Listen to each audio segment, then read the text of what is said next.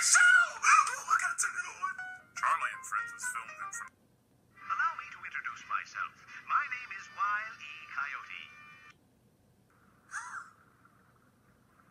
What?